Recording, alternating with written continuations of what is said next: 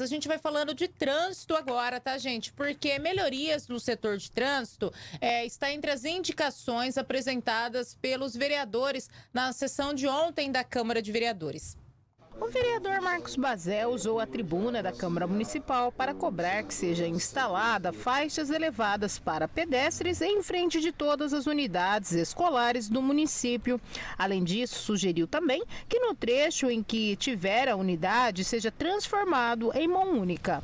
E o trânsito hoje está muito intimamente ligado à educação no que diz respeito à chegada e saída das crianças nas unidades escolares. Nós temos unidades escolares em Três Lagoas que tem 500 crianças, 600 crianças entrando e saindo. Nesses momentos de pico, nós estamos falando de veículos levando, seja ele é, bicicletas, bicicletas elétricas, motocicletas e, e carros, caminhonetes, enfim, uma gama de veículos acontecendo no município de Três Lagoas em um determinado momento, que é o fluxo, o maior fluxo. A chegada às 7 horas da manhã, a saída às 11, a chegada a 1 hora da tarde e a saída às 5 horas da tarde.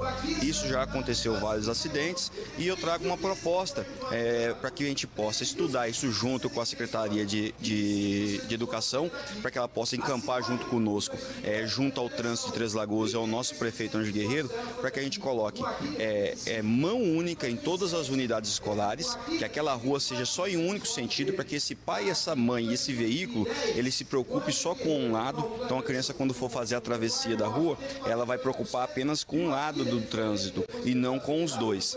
E o modelo faixa elevada, que é aquele modelo que o carro tem que parar para passar passar e ele serve como uma, uma, uma, uma passarela de transporte da criança de um lado da via para o outro de forma segura. Eu acho que com essa, com essa modificação em todas as unidades nossas e o modelo faixa elevada na frente dessas unidades, nós vamos trazer segurança no trânsito, especialmente naqueles momentos de pico nas unidades escolares.